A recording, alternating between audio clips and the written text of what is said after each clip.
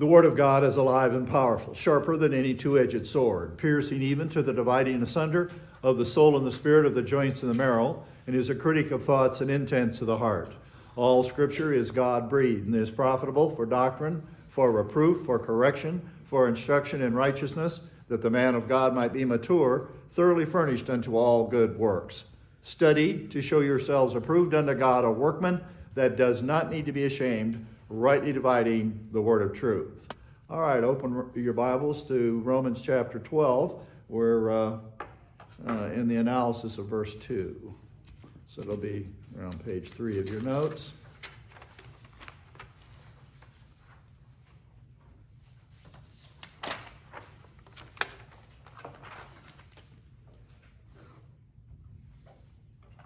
God the Father, the author of the plan, desires those that worship him to worship in spirit and in truth. God the Holy Spirit is the Spirit who leads us into truth. Truth is the content of the revealed Word of God, which we have dedicated ourselves to the study of book by book, verse by verse, doctrine by doctrine. So let's take the usual time to recognize that your responsibility, aside from being here, is to be here in stay in fellowship and focus your attention on the information that uh, we will be covering today. Let us pray.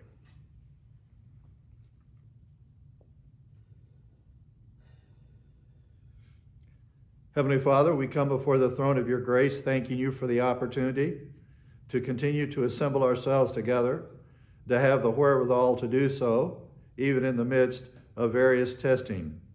Thank you for this opportunity and bless this information communicated to our edification and orientation to your perfect plan. In Christ's name, amen. All right, living the Christian life, our relationship to God. We'll reread the verses based on the preceding, directed at church age saints, believers of the current dispensation, that has been made possible by failure, the failure of the Jews. Their colossal failure has opened the door for the opportunity for us Gentiles through the dispensation to step up and to participate in the plan of God at a very high level in a very uh, unique set of circumstances as we live in the era of the royal priesthood, uh, the universal uh, indwelling of the Holy Spirit, and uh, other factors that uh, make this a very special uh, dispensation. Things to focus your attention on from time to time and encourage you that you are royalty, royal family, and this is our royal food, spiritual food that we take in uh, the Word of God. Therefore, I urge you, brethren, by the mercies of God, always remember that we are under the mercies of God. These remain unchanged. All of His grace is there for us each and every day, in every circumstance. It never fails. God is there to forgive, to provide the believer uh, who is serious about his plan. To present your bodies a living and holy sacrifice. Uh, we are alive still, we're in the world, and to be a holy sacrifice acceptable to God, then at any time you present yourself, present yourself as moment by moment living the Christian life. It isn't some special event. It is moment by moment under all the kind of circumstances that we encounter as believers living the Christian way of life. So, whatever you're doing, whatever you're engaged in that is legit, then you are to be in fellowship and you are presenting your bodies a living and holy sacrifice acceptable to God. It doesn't have to be something, quote, spectacular. It just everyday routine, various things that you do. You are presenting yourself to God as an acceptable sacrifice, holy and a, a holy sacrifice uh, before Him, which is your reasonable service. My corrected translation on that wasn't real fond of the other one. because it, it seems to limit it to uh, worship, formal worship. It, it is not limited to that by any means. Obviously, includes that. And therefore, an, an essential adjunct to acceptable service. This is a challenge. This is something that doesn't happen overnight. You gain further insight into what is appropriate and what isn't appropriate in your relationship to the world or the present time in which we find ourselves. And do not be conformed to this world order. Whatever its overt manifestation is at any time in history, I mean, yes, things remain the same, people act the same, but it is in a different, on a different stage, if you will, a different set of circumstances. Uh, we are not to be conformed to the world. This, this is not a call for asceticism or, or unnecessarily giving up things that are enjoyable, but it is to have everything under uh, an understanding that we are not to be like the cosmos and to think and to have their priorities uh, uh, in, our, in our lives. If you, if you ever hear of these people talk about everyday things, uh, it has nothing to do with God and His plan often. Nothing whatsoever. They are caught up in the things of the world, the activities, the material things, this and that, and that's, that's the conformity factor that we are told not to be conformed to the cosmic system, but be transformed. This transformation, this uh, meta morphomai, mouthful, means to be transformed.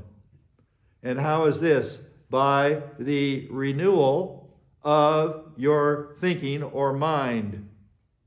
The renewal factor, where you and I, under face to face teaching, are confronted with the divine viewpoint of things, and when we accept it and embrace it, then this is that then our thinking processes, our mind is renewed.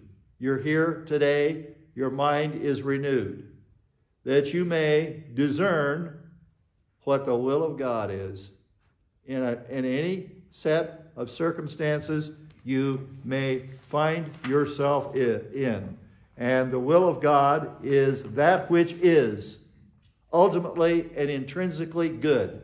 The Greek noun, uh, the Greek adjective, agathos, that which is intrinsically good and acceptable. God accepts it. This is the will of God. Will you do it? It's acceptable to God and perfect. Can't improve on it. you, can, you cannot improve on the will of God. And I am out of Kleenex. See, so I'm under testing. I'm all right. I'm all right. There's just none up here. Somebody stole them. I thought I had some. Anyway. So the positive command to be transformed has to do with, and this is down to point 22, the positive command, be transformed, has to do with the inner person of the new man, where truth resides. where truth resides. Uh, this is another way of stating what we state in many ways in di different places in the Bible regarding the intake of Bible doctrine. This provides us with new priorities, interests, and norms and standards. We're not here talking about legalism. That is a distortion of this on the part of, of a lot of Christians. They are legalistic. Uh, that's not what we're talking about either. so, this is the product of the function of what we call GAP, the grace apparatus for perception. everything we need, a believer needs, in order to be able to properly take in Bible doctrine.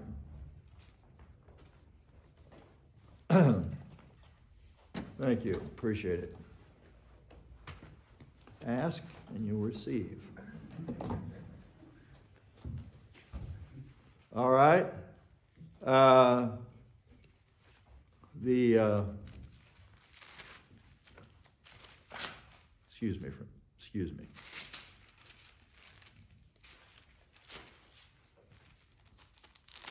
Got the wrong chapter here.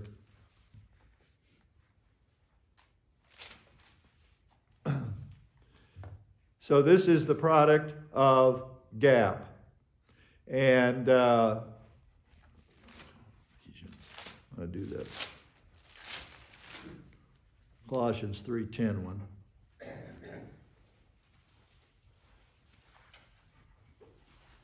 And as we'll get into uh, a series of exhortations about Christian behavior, do's and don'ts. It's always good to hear this over and over. You probably already know this is true, but we need to hear this. Do not lie to one another, since you laid aside the old self with its evil practices. When did that happen? When you made the salvation adjustment the STA, for its very first time in your life, the sin nature, indwelling sin nature, was isolated.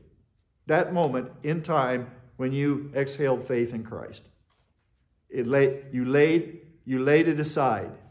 Now, obviously, very soon thereafter, you committed a sin, known or unknown, to you. You come to Bible class, you find out what, what these activities are, and here is a sin of the tongue, lying a very common sin. People lie for a variety of reasons. One of them is they don't want the truth out about something. Uh, so they lie uh, and have put on the new self, the new man, who is being renewed. This, is, this renewal process is, in a nutshell, face to face teaching. You come here, you are brought face to face with the reality of God's plan. Not that you can't be uh, involved with certain things on the outside, like reading your Bible, but there's no substitute for the renewal process and this environment that is so abused by so many. They don't go to church. They sit home and watch TV or have some online counselor or devotional teacher or all the, all the abuses that I've tried to bring to your attention over the years that you don't follow, uh, even if they were, you don't follow multiple uh, pastors or teachers. You don't do that. This, this is one that people have run up against but go back and read John chapter 10. He makes it very clear that the believer identifies with this one person at a time and identifies with that person and makes that identification like a marriage, like a union of two people that make, when, the, when things are right and people are doing things properly, they make an identification they identify what God has already set up. So uh, I don't recruit people. I witness to people from time to time about doctrine. And uh, if, I, if I feel inclined, I, I tell them, well, that's interesting. Well, blah, blah, blah. Yeah, I can get real excited. I don't get excited. I just say, well, if you are, uh, well, show up. There is no obligation. You'll be put under no pressure whatsoever other than what you put yourself under. Show up. Check it out.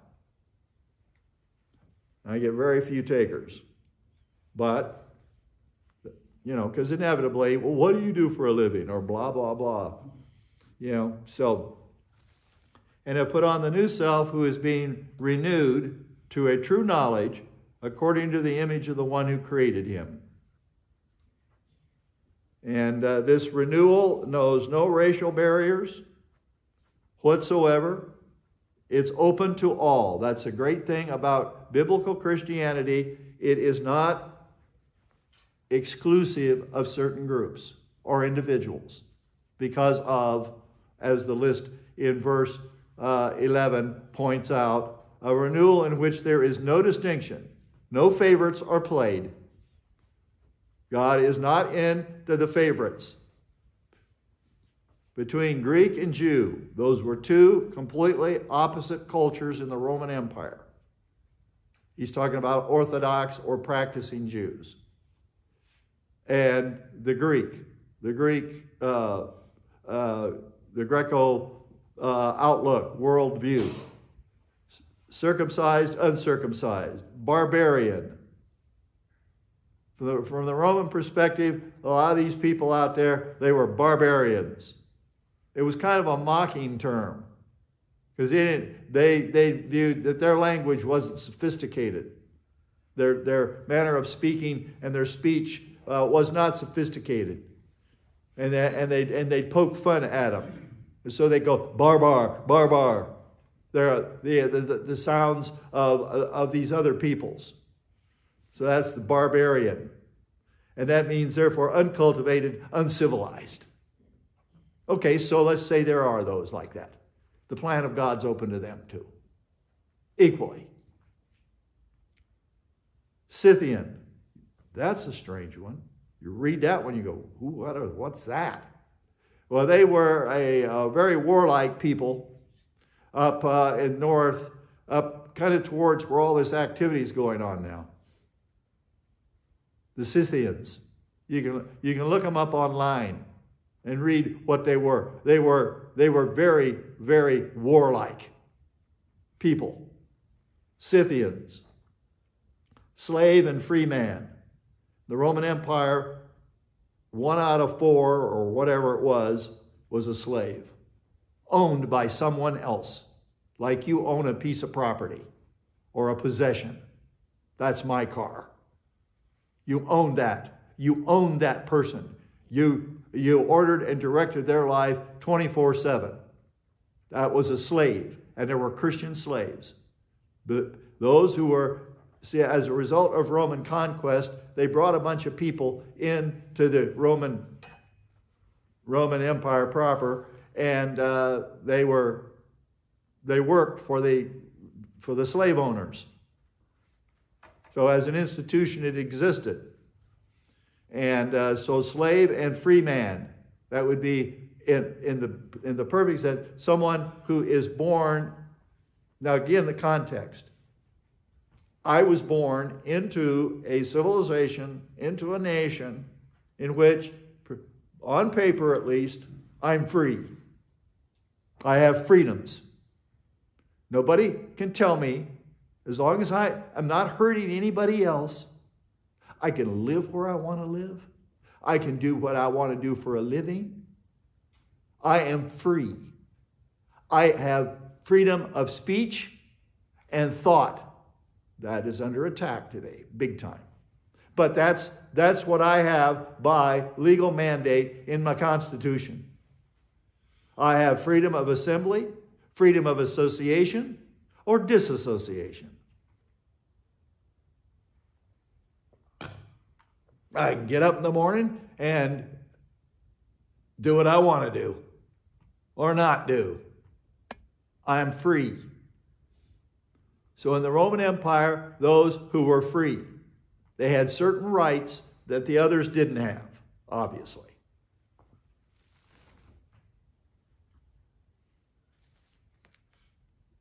But Christ is all and in all. So, whatever your set of circumstances, uh, you are, the plan of God is open to you. So this transformation is the product of the function of gap. Perhaps you have noticed this. Perhaps others have noticed this in you. As a result of coming to Bible class, you've changed. You changed. You used to be a worrywart.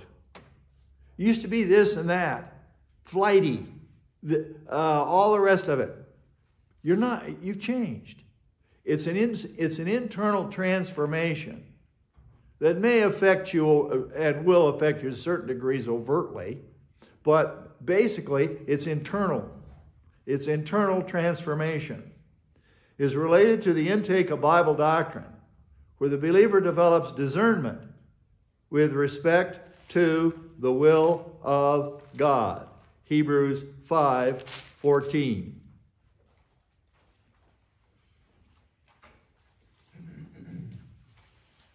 Uh, the author here, the anonymous author of the book of Hebrews, and I have my favorite pick, and it's, but that's a, it, it's not dogmatic. Um, pretty sure it wasn't Paul. Uh, I don't get the Apollos connection. And some have said, though I haven't checked it out personally, there is a real affinity of vocabulary between this and the writings of Luke. And this would be unusual because Luke was born, bred, raised Gentile. Paul's personal physician and assistant, historian and physician, highly talented individual on his own right, but he was a, made a great contribution to, uh, and the only Gentile writer of the Bible. The only one. Luke, Acts, and possibly Hebrews. I don't know. We'll just leave it at that. It's not critical to the interpretation of this book because this book was written to Christian Jews living in the land of Israel before the, before the country was uprooted before 70 AD. They were getting close to it.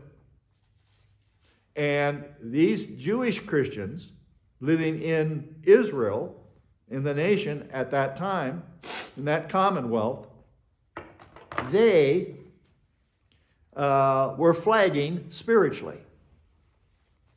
They, were, they had been, been under the gun, so to speak, persecution by their fellow Jews Somebody says, You haven't been persecuted they've been persecuted by a Jew. If you're one of them, and you racially, and you become a, a, a an outspoken Christian.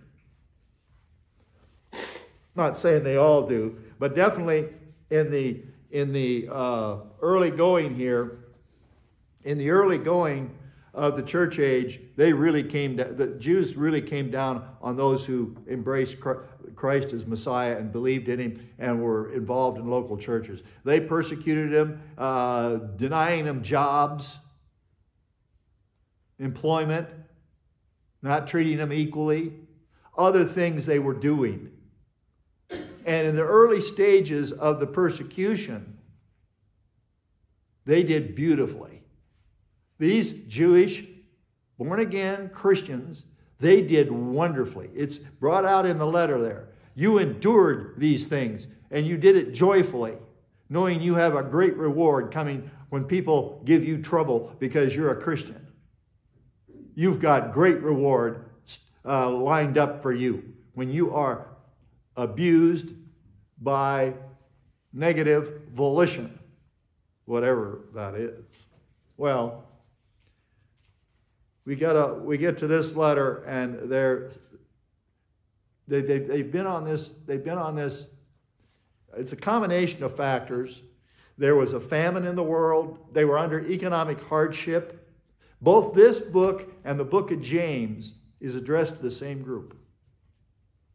Jewish local Jewish believers living in the land of Israel before 70 AD, obviously. Because after 70 AD, as that when that event approached,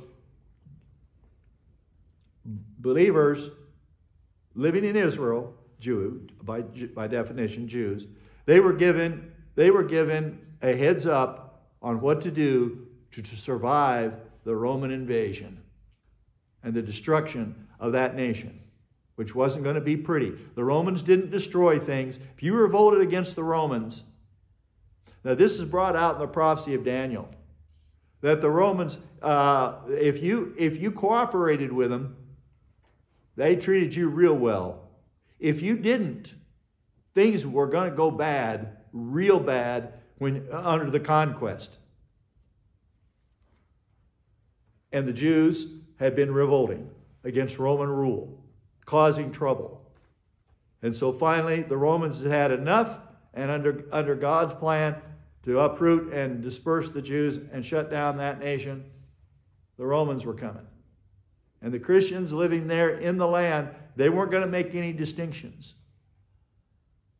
And, and, and, and uh, whether, whether a person is fighting or just a civilian, you're going to be drug off into captivity, made a slave, and perhaps ripped apart from your family, uh, all kinds of stuff coming down.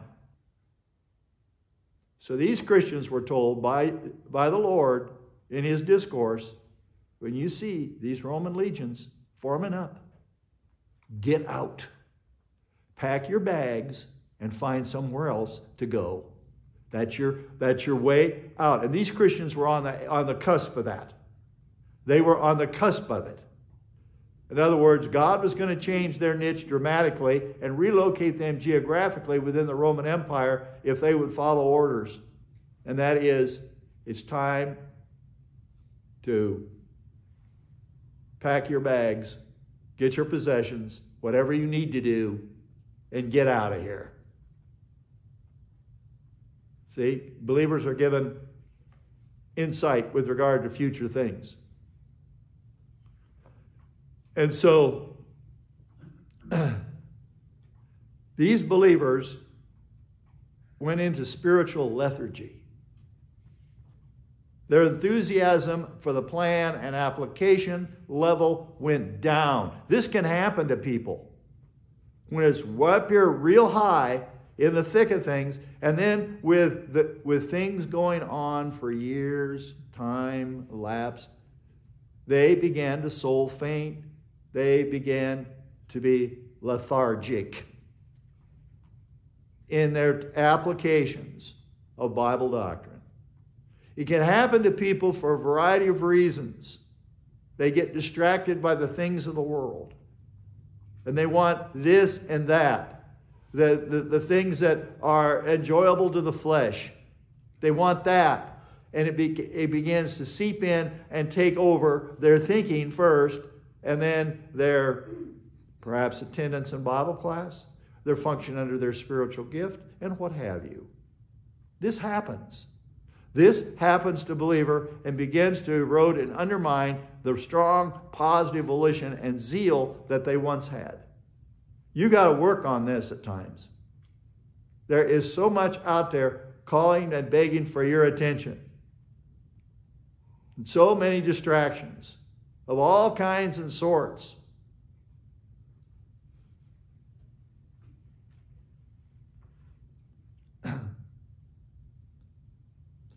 Uh, he says here, uh, on the verse I was going to get to here, for uh, 12, for through, for though by this time you ought to be teachers, you have need again for someone to teach you the elementary principles of the oracles of God. That's how bad they got. We need to go back to the, you need somebody to start you up again and reteach you the basics. The ABCs of Christianity. As in school, in a topic, in a legitimate study, you start with basic stuff. If you're doing math, you start with basic math and work your way up. I mean, you got to learn how to add and subtract, multiply and divide, and so forth before you can go up the, uh, another level. This is the elementary principles of the oracles of God. And you have, you have come to need milk. What are you feeding your little ones, your littlest ones? You're feeding them milk. They don't have teeth, they need milk. Their bodies is able to digest this. You have need of milk. There's another way of expressing basic doctrine. You have need of milk. And you have come to eat milk and not solid food. Another way of expressing Bible doctrine. Real basic stuff. Basic, basic stuff. A lot of churches, they're not even getting milk. If they are, it's sour. It's, it's, it isn't clear basic doctrine. For everyone who partakes only of milk, basics, is not accustomed to the word of righteousness, for he is an infant, a spiritual infant, and stuck in, in, in, in the status of infant. Oh, they're cute, they're wonderful, and they're good to have and everything, but we do want them to grow up. We want them to get up beyond that. We don't want them stay in that infant state where they can't talk, they can't do a lot of things that, that, that, that, that a mother, for instance, has to do for them. We want them to get on up, the, up there.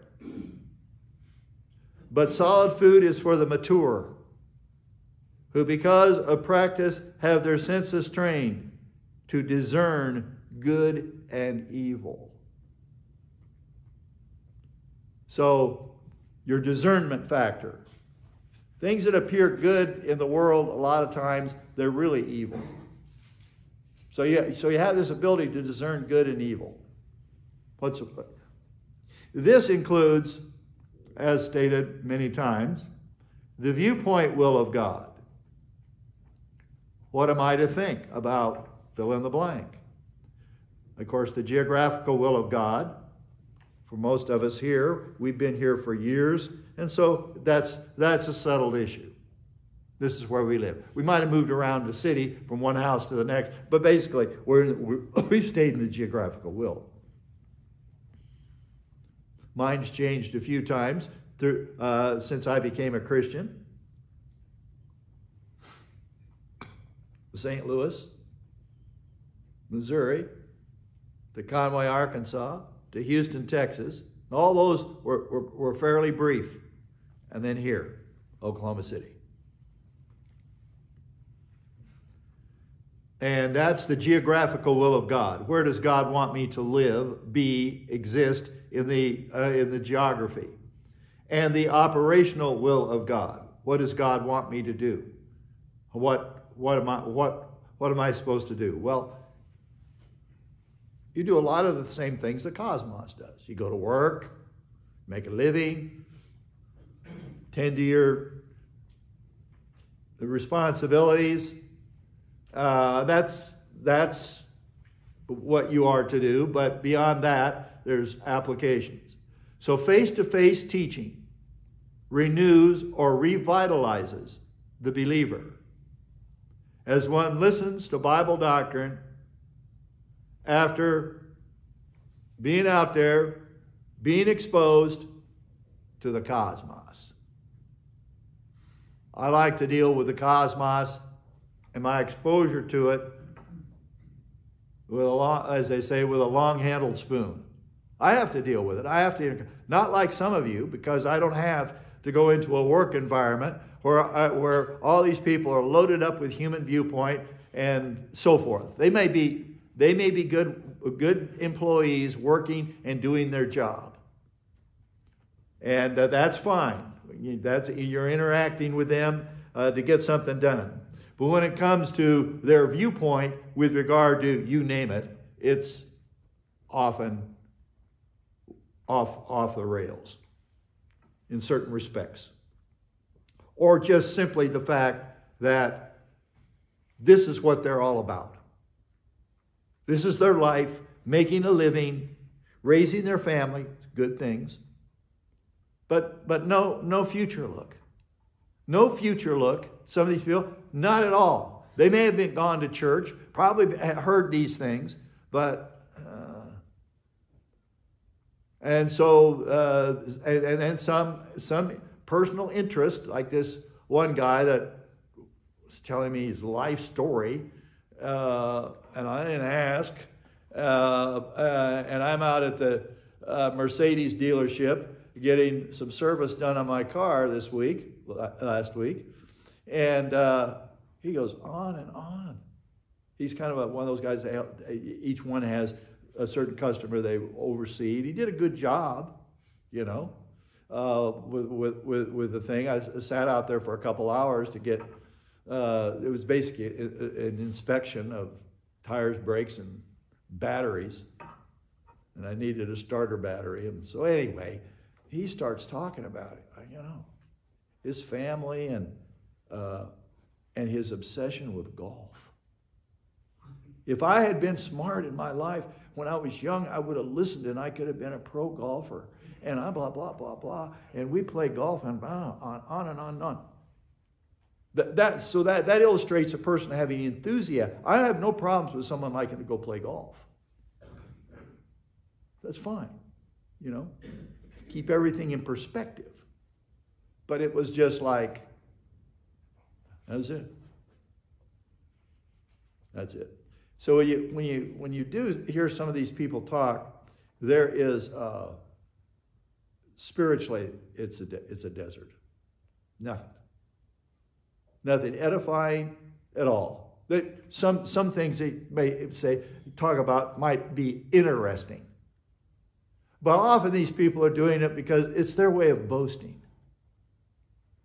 They, they like to say, uh, they like to name drop. They go, well, I was here. I did this. I did that. I don't have a problem with a person saying I went and saw something and it was beautiful or wonderful and all. But it's, it's, there's just this way the cosmos operates.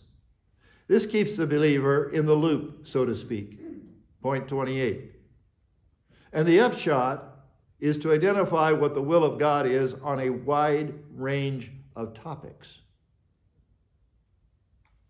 And again, you, can imagine from my perspective, how do I get all this over to people? There are so many topics and subjects there. I just have to keep plugging away.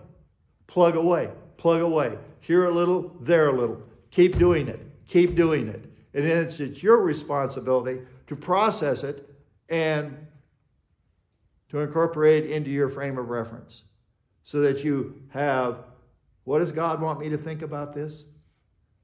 and so forth. That's where it starts in the mental attitude. So the mind, or the thinking, the nous, is renewed in Bible class.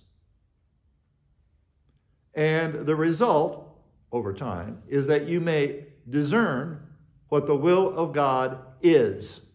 That's what we're talking about here. So you can maybe cite chapter and verse or just simply say, the will of God is, in this regard, this. And it's the same for everybody.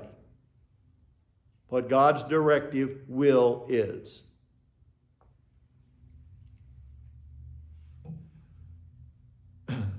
Again, consistent attendance is crucial to avoiding human viewpoint and bad decisions.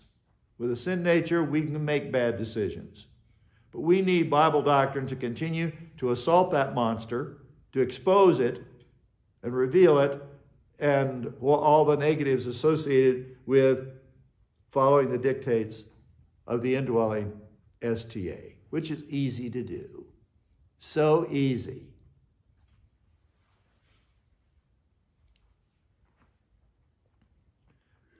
God's will is the ultimate good. Point 33.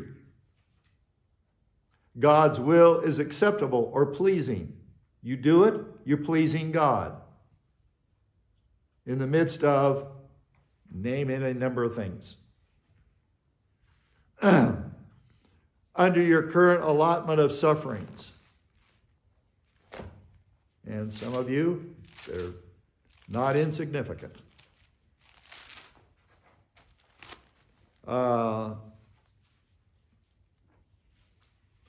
some verses. And those who are in the flesh. Well, we're all in the flesh, aren't we? This has got to be something technical. Those that are under the dominant, where flesh is a synonym for the STA. When you are in under your STA, you are not, you cannot please God. When I'm out of fellowship, at that moment, and that time frame, until I snap back, I cannot please God. Period. I have to rebound, get myself back in fellowship, and then do what is appropriate to please him. Uh, Colossians 1.10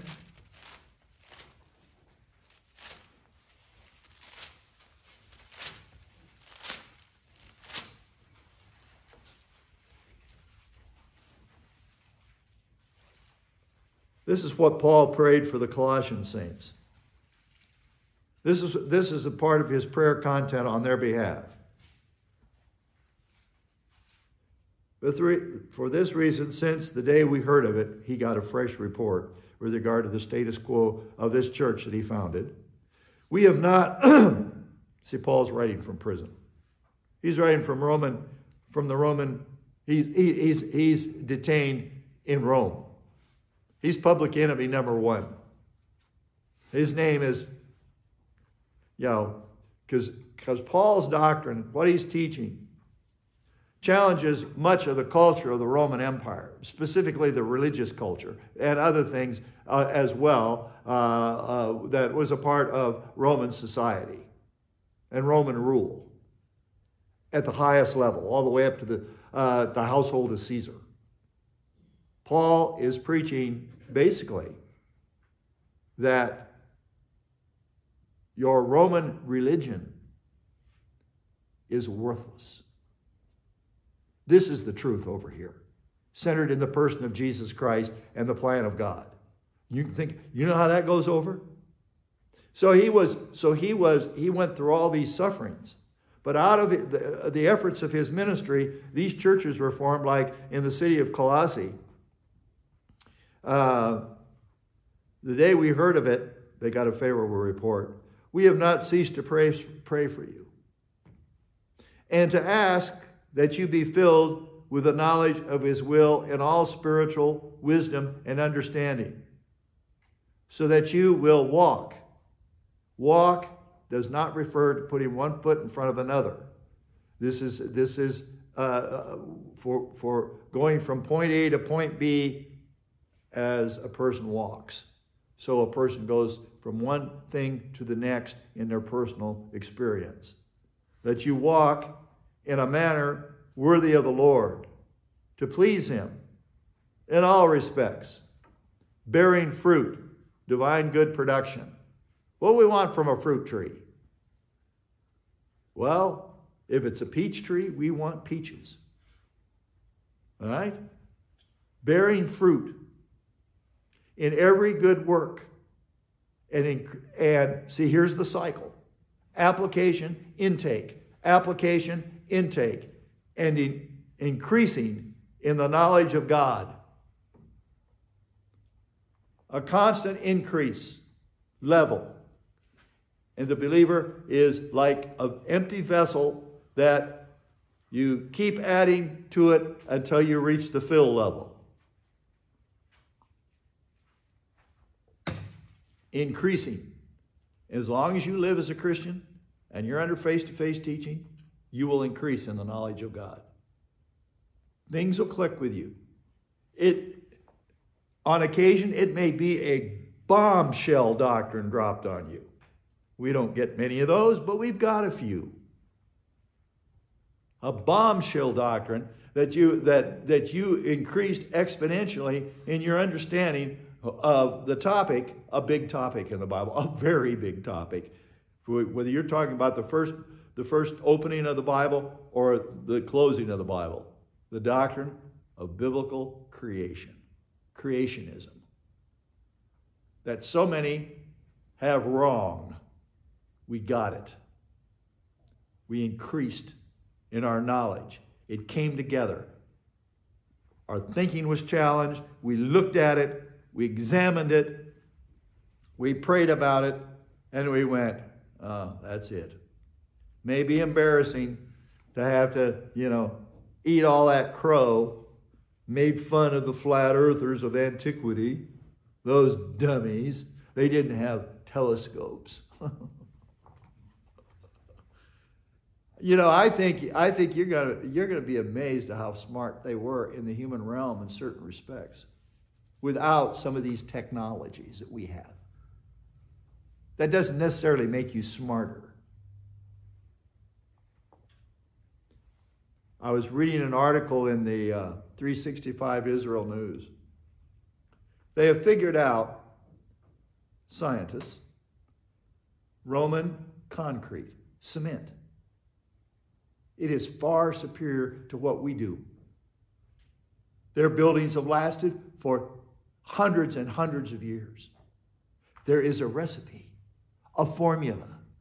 It's detailed. They, that's why their buildings stood tall. Ours typically can last maybe a century. But the Roman ones, they had something going for them.